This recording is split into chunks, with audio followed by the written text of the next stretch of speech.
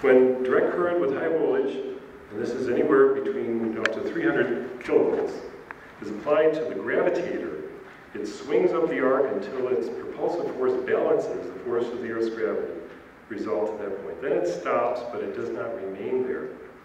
The pendulum then gradually returns to the vertical, or the starting position, even while the potential is maintained.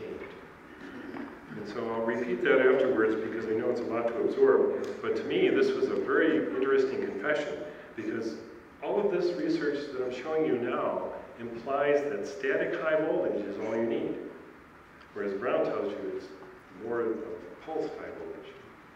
Okay, so here's the uh, diagram that Paul Violette, I need to give him lots of credit because he made the first book possible um, by actually adding his interpretation and diagnosis of what the B-2 had done to implement the um, electrogravitic designs.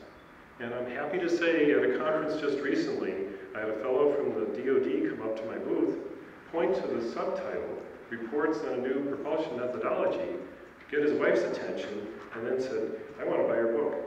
And essentially as we started talking, he says, well, I want to see how much you know. I know all about the B-2. and so he was very surprised that I put all this into a book, but the nice thing is, hopefully we'll have a dialogue, and the more I can display how much I know, the more possible, I say possible, uh, declassification is. Because it all is based on how much you know. And if you, can, if you know enough about a classified project, it's very likely that you can push it out into the declassified area.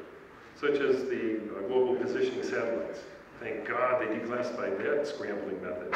Otherwise, we wouldn't even know where we are. And there was a military scrambling project that was classified.